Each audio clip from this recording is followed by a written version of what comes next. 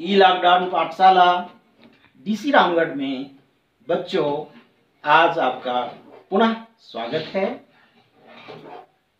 पिछले वीडियो में मैंने आपको उपसर्ग के बारे में बताया था। तीन प्रकार के उपसर्ग होते हैं हिंदी भाषा में।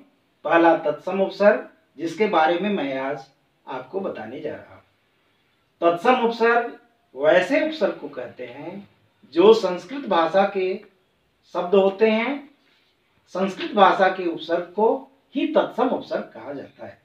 इस श्रेणी के प्रमुख उपसर्ग निम्नलिखित है। उपसर्ग अर्थ और उपसर्ग से बने शब्द। इसके लिए मैं तालिका बनाया हूँ जिसका आप अवलोकन करें।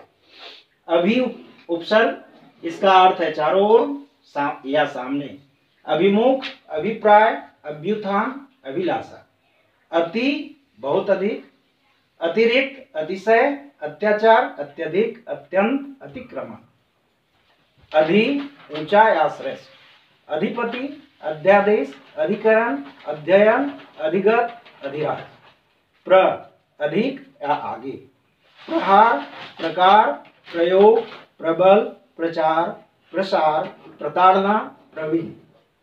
परि चारों ओर परिवार, परिपूर्ण, परिक्रमा, प्रकार, प्रयोग, प्रताप, प्रबल इत्यादि। आपको मैंने तत्सम उपसर्गों को बताया।